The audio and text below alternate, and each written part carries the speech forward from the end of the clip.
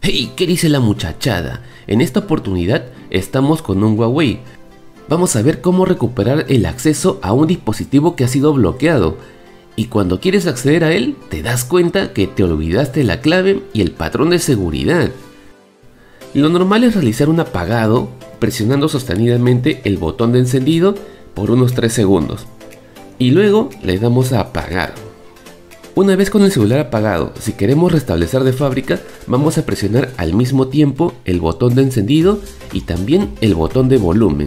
Aplastamos sin soltar hasta que el equipo se reinicie y aparezcan las opciones de EMUI, que es el sistema corazón de los Huawei. Pero seguro lo que más te importa es tu información. Bueno, en parte la vas a poder recuperar y en parte no. No olvides que la información está repartida entre tu memoria externa, tu chip y tu mismo equipo con su memoria interna. Es por eso que es muy importante que antes de hacer un hard reset retires el chip y la memoria externa para que éstas no se formateen. Lamentablemente, la información de tu memoria externa sí se va a perder. Adiós, vaquero. Pero hay un paso sencillo para recuperar todos los archivos, lo cual se explica más adelante. Pero eso lo debiste hacer antes de olvidar tu patrón de seguridad. Y ahora lo que haremos será usar los botones de volumen para poder desplazarnos hacia arriba o hacia abajo. Una vez que escogemos una opción, borrar datos, restablecer valores de fábrica, aplastamos el botón de encendido para confirmar y listo. Ahora nos va a indicar que escribamos la palabra yes y que presionemos el botón que aparece abajo para confirmar restablecer de fábrica. Se eliminarán todos los datos en el dispositivo. Por eso espero que ya hayas sacado tu memoria externa y tu chip. De tu chip no solo se van a resetear tus mensajes de texto, sino también los contactos. Y por eso siempre es lo mejor guardar los contactos en una cuenta Gmail, no en tu chip. Y si le das a borrar datos y restablecer de fábrica, no va a pasar nada, porque tienes que escribir primero la palabra yes. No seamos flojos. Esto es un control estricto para poder dar tiempo a que te arrepientas y pienses si tienes algo por lo cual no restablecer de fábrica.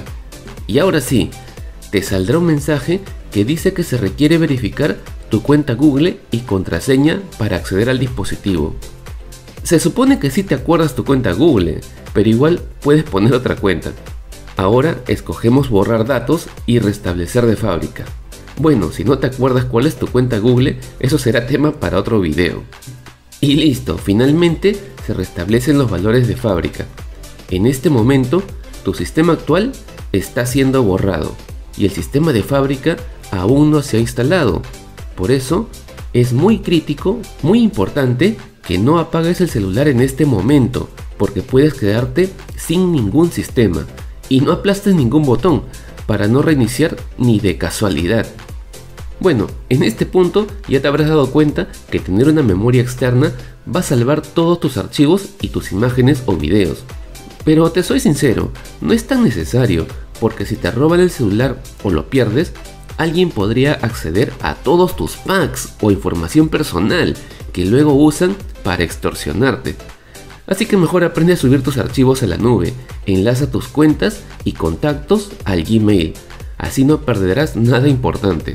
Y tampoco olvides suscribirte a mi canal para estar al tanto de consejos que te servirán muchísimo. Y finalmente ya terminó el proceso, nos sale reiniciar sistema, escoge reiniciar, no vayas a formatear de fábrica otra vez. Le damos flecha arriba y le damos a reiniciar sistema. Una hora después. Luego de un par de minutos, tu celular iniciará con las opciones de restablecer cuenta. Se van a restablecer programas y servicios. Y no olvides acostumbrarte a subir tus archivos importantes a la nube para que nunca se pierdan. Solo sigue llenando los datos y por último, no olvides dejarme un batisabrosito así de grande y tocarme la campanita para que estés al tanto de mis próximos videos. También suscríbete al canal de Josematsu y tu cruz te mandará un audio confesándote su amor. Bueno, tal vez no te llame. Ya, Robin, no interrumpas. Es que no va a pasar porque terminó el video, Robin.